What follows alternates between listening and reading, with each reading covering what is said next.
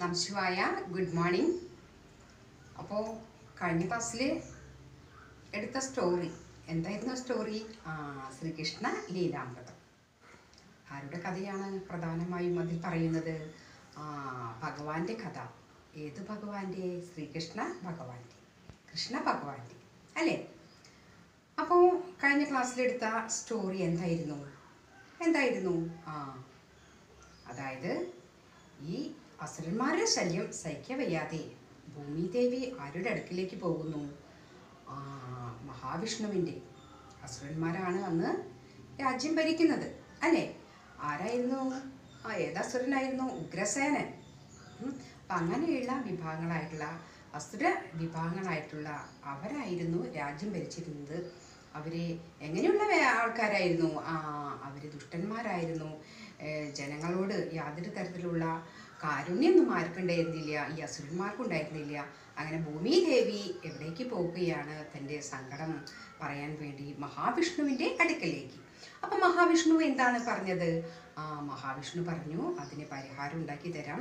ദേവകിയുടെയും അതുപോലെ വാസുദേവരുടെയും മകൻ ഇതിനൊരു എന്താണ് പരിഹാരം ഉണ്ടാക്കുമെന്ന് പറഞ്ഞ് ആരെ അയക്കുകയാണ് ആ ഭൂമി ദേവിയെ ഓക്കെ? ആ ഉഗ്രസേനൻ എന്ന അസുരന്റെ മകനായിരുന്നു ആര്?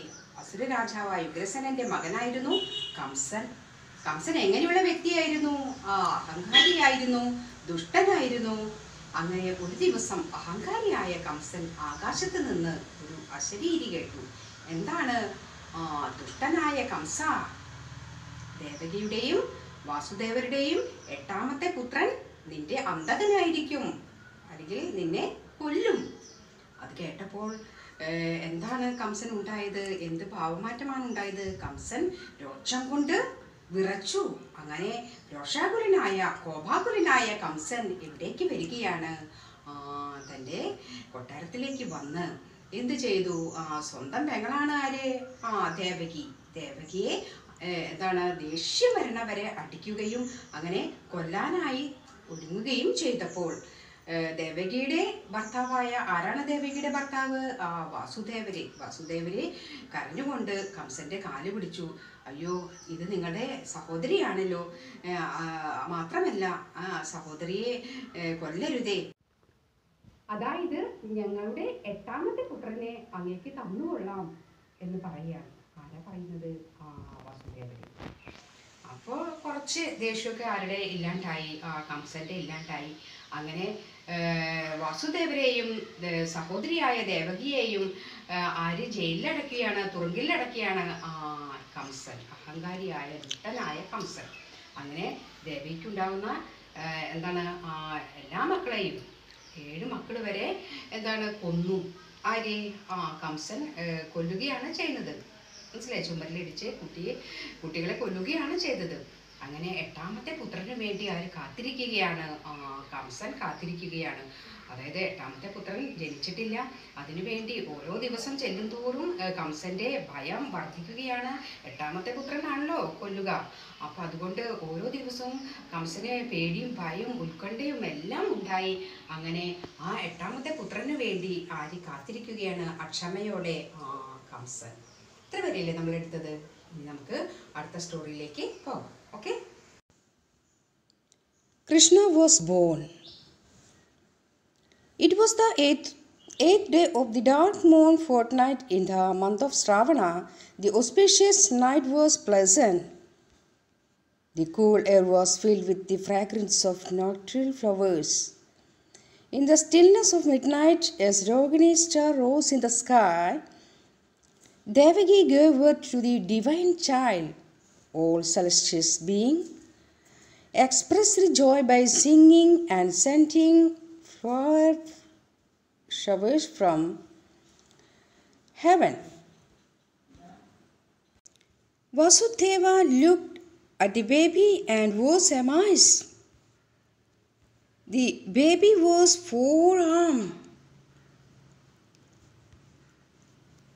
Each arm held an conch, a disc, a mace, and a lotus. The baby had thick back, curly hair, lotus. Like eyes and a special mark on the chest called Srivatsa. Gold ornaments shone in his ears, on his hands, waist, and around his ankle. All of them were signs of Lord Vishnu. The divine child spoke to them Father and mother, do not worry. Days of the wicked are covered. I have come to rid him the earth of evil. The Lord assumed the form of the ordinary child and spoke Vasudeva, now take me to Gokula in the land of Braja. Ex- exchange me with the baby girl born to Yashoda just now.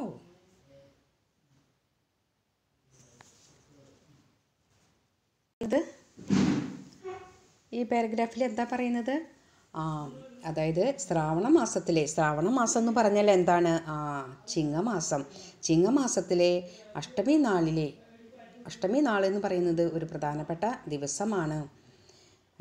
എന്നാണ് പറയുന്നത്. Okay? ആ ദിവസത്തിന്റെ പ്രത്യേകത എന്ന് പറഞ്ഞാൽ നമ്മുടെ ഭഗവാൻ ജനിക്കുന്ന ദിവസമാണ്. അപ്പോൾ ആ അസുലഭ നിമിഷത്തിനെ എന്താണ് എല്ലാവരും സാക്ഷിയായി. ആ സമയ അന്തരീക്ഷമാകെ പ്രകൃതിയാകെ നല്ല സുഗന്ധമുള്ള കുളിർക്കാറ്റ് ഒരു കടന്നു പോവുകയും അങ്ങനെ പൂക്കളൊക്കെ വിരിഞ്ഞ് ഈ സുഗന്ധം എവിടെ പരത്തുകയാണ് ആ, പ്രകൃതിയിലൊക്കെ പരത്തുകയാണ്. ഈ സുഗന്ധം ഇതിനൊക്കെ നിറസാന്നിധ്യമേക്കി അങ്ങനെ രോഹിണി നാളിൽ അർദ്ധരാത്രിയിൽ ദേവകി ഒരു ചൈതന്യമായ കുഞ്ഞിനെ ജന്മം നൽകി. എല്ലാ ദേവന്മാരും പുഷ്പങ്ങൾ വർഷിച്ചുകൊണ്ടിരുന്നു ആകാശത്ത് നിന്ന് സ്വർഗത്തിൽ നിന്ന് വിഷ്ണുനാമ സ്തുതികൾ പാടിക്കൊണ്ടിരുന്നു. അങ്ങനെ വിചിത്രമായ ഒരു അല്ലെങ്കിൽ ഒരു ഐശ്വര്യപൂർണമായിട്ടുള്ള ഒരു രാത്രി അല്ലെങ്കിൽ ഒരു ജനനത്തിന് എല്ലാവരും സാക്ഷിയായി. ഓക്കെ?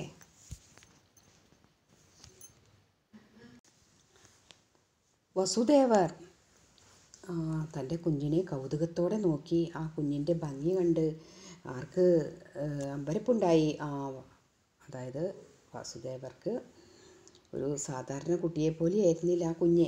ഒരു അസാധാരണത്വം ആ കുട്ടിയിൽ ദർശിക്കാനായിട്ട് കഴിഞ്ഞു. നാല് കൈകളുണ്ടായിരുന്നു കുട്ടിക്ക്. കുട്ടിയുടെ ഓരോ കൈകളിലും ശംഖ് ചക്രം ഗത അതുപോലെ തന്നെ താമര ഇതൊക്കെ ഉണ്ടായിരുന്നു. കുഞ്ഞിനാണെങ്കിൽ എന്താണ്? കറുത്ത ചുരുണ്ട തിക്കുള്ള മുടിയായിരുന്നു മനോഹരമായ മുടിയായിരുന്നു.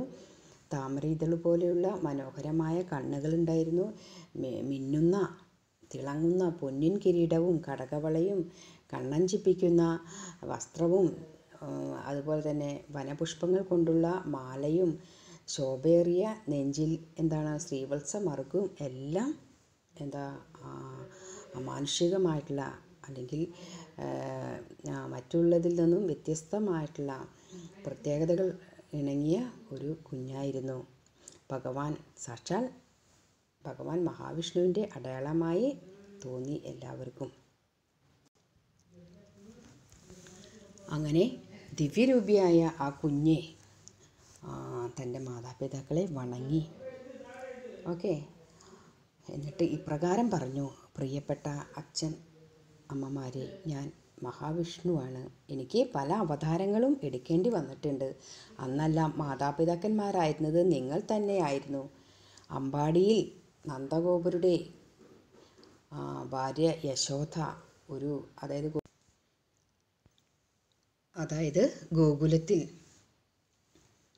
നന്ദഗോപുരുടെ ഭാര്യ യശോദ ഒരു പെൺകുഞ്ഞിന് ജന്മം കൊടുത്തിട്ടുണ്ട്. ആ പെൺകുഞ്ഞിനെ ഇങ്ങോട്ട് കൊണ്ടുവന്ന് എനിക്ക് പകരം ആ എനിക്ക് പകരം ഇങ്ങോട്ട് കൊണ്ടുവരിക. എന്നിട്ട് അമ്മയുടെ അരികിൽ കിടത്തിക്കൊള്ളുക. വഴിയിൽ യാതൊരു വിഷമതകളും അനുഭവപ്പെടുകയില്ല. ആ പെൺകുഞ്ഞിനെ ഇവിടെ കൊണ്ടുവന്ന് അമ്മയുടെ അരികിൽ കിടത്തുന്നതുവരെ ഇവിടെയുള്ളവർ ആരും ഉണരുകയില്ല. ഇങ്ങനെയൊക്കെ പറഞ്ഞ ശേഷം എന്താ മഹാവിഷ്ണുവിന്റെ ദിവ്യ അതായത് സാക്ഷാൽ മഹാവിഷ്ണു ആയിരുന്നു അല്ലേ? മഹാവിഷ്ണുവിന്റെ രൂപം ദിവ്യരൂപം എന്താ അപ്രത്യക്ഷമാവുകയും അങ്ങനെ ദേവകി പ്രസവിച്ച ശിശുവായ കൃഷ്ണൻ അവളുടെ അരികിൽ കാണപ്പെടുകയും ചെയ്തു. ഓക്കെ. അപ്പോൾ ഭഗവാന്റെ ജനനം ഇങ്ങനെയാണ് എന്നാണ് പറയുന്നത്. ഓക്കെ?